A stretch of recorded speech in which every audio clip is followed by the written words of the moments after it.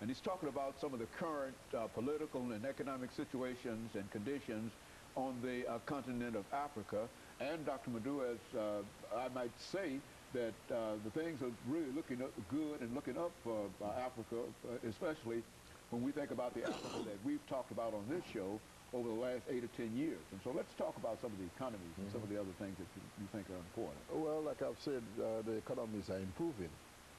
And, and because the economies are improving, one might ask, what's the reason? Mm -hmm. You know, why has it been so backwards mm -hmm. previously?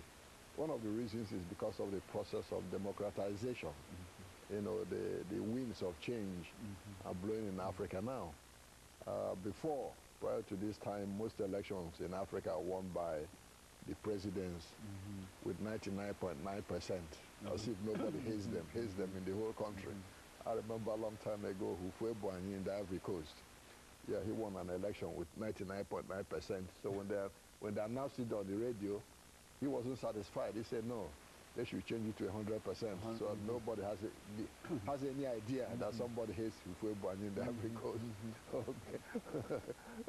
so most of them were winning 99.9% and nobody said anything. Now it has changed.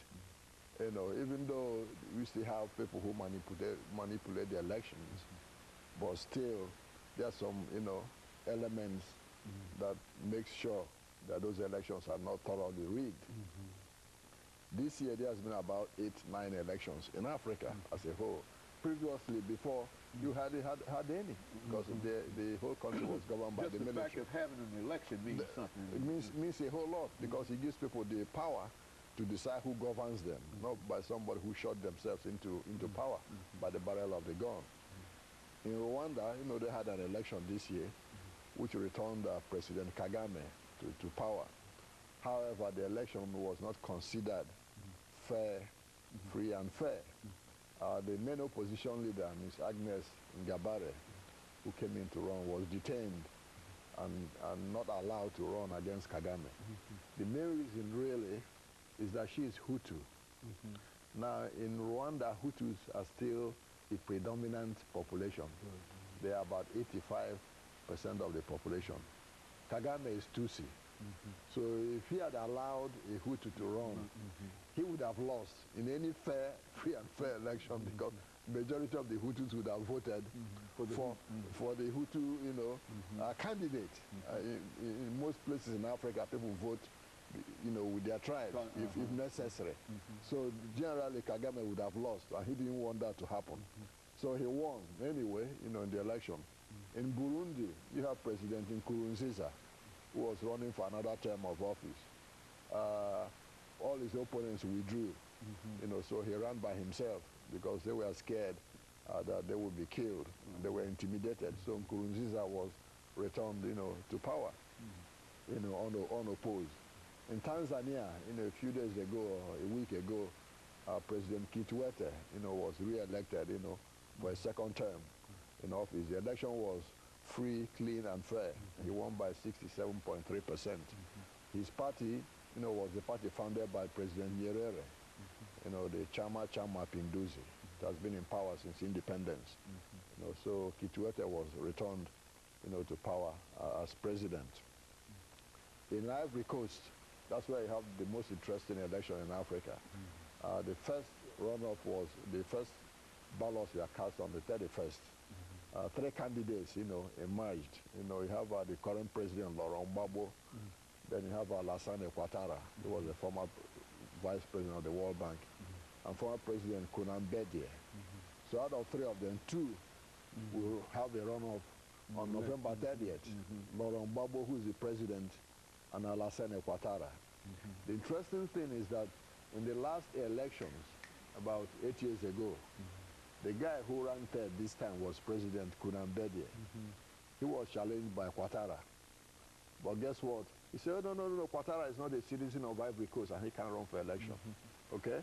Yeah, but Ouattara was president, prime minister mm -hmm. under Houphouët Boigny mm -hmm. for these three years. And now he can't, he can't run for Exactly. Now he's not a citizen of the country, so he can't run. Mm-hmm. Okay? That action by Bedie precipitated the current crisis in Ivory Coast because mm-hmm. what happened was Ouattara is from the north, northern part of the country. And then citizens of Ivory Coast who come from the north mm. have had grievances that they were being discriminated against. Mm-hmm. So when Ouattara was disallowed, you know, from running, mm-hmm. Mm-hmm. now the army came in, overthrew Bedie. Mm. What happened? A few years later, then the, the guy from the north re rebelled, you know, and Ivory Coast is split into two today. And today, just because of that, Uh, just because of that, you know, mistake mm-hmm. Bedie made. You mm-hmm. see, Houphouët-Boigny spent all these years building a prosperous country, mm-hmm. and Bedie destroyed it in a few months just to stay in power by trying to dis disenfranchise Ouattara. So ironically now, Ouattara is running against Gbagbo, you know, for the presidency. So November 30th will be crucial. Most observers have to say two things will happen. If, if Ouattara loses, there might be riots. The mm-hmm. North will not believe he, he, he lost fairly. Mm-hmm. Now the country might stay divided. The, the, the, those controlling might not, you know, want to mm-hmm. have reintegration. If Gbagbo loses, there's this thing that the army will not allow Ouattara to take power. So it will be interesting to see what happens on November 30th. Guinea has some problems now.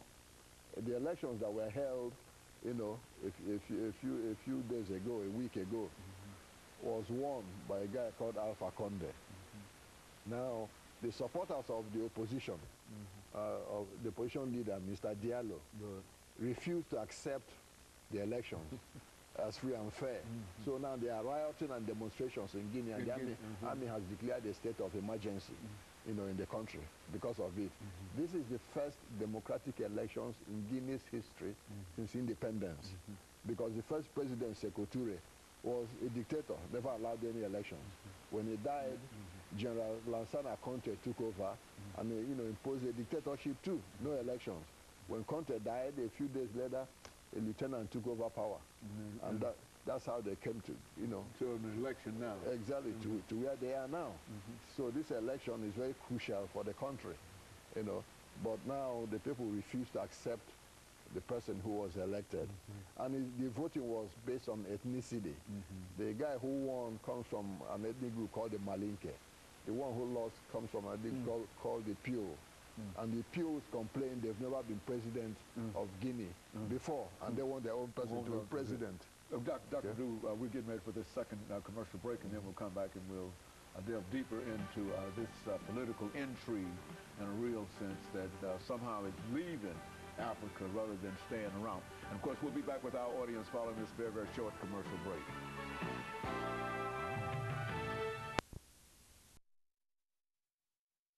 The topic is current